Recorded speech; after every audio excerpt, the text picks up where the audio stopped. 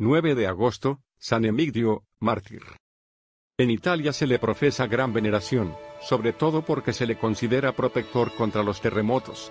Por la misma razón, su culto se ha popularizado mucho en los últimos años en las ciudades de Los Ángeles y San Francisco, zonas donde también se suceden fuertes y frecuentes movimientos telúricos. Según las actas Emigdio era un alemán originario de Treveris, Después de su conversión al cristianismo, se trasladó a Roma en la época del Papa Marcelo I.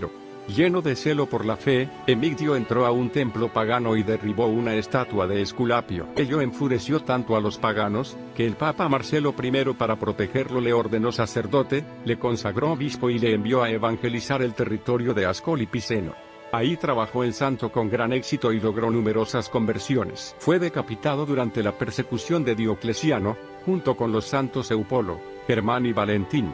Dado que San Marcelo ciñó la tiara pontificia en el año 308, es imposible que él haya ordenado a San Emigdio, pero la tradición popular no respeta la cronología. La fiesta de San Emigdio se celebra en Italia no solo el 9 de agosto, sino también en otras fechas, según las diversas tradiciones locales. Oración a San Emigdio contra los terremotos, recomendada por el Papa emérito Benedicto XVI.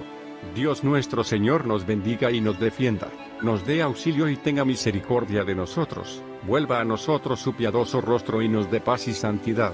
Nuestro Señor bendiga esta casa y a todos los que en ella habitamos, y nos libre del ímpetu del terremoto en virtud del dulcísimo nombre de Jesús. La verdadera sangre de nuestro Señor Jesucristo nos libre de la peste, de la guerra, del rayo de los temblores y de todos enemigos. Amén.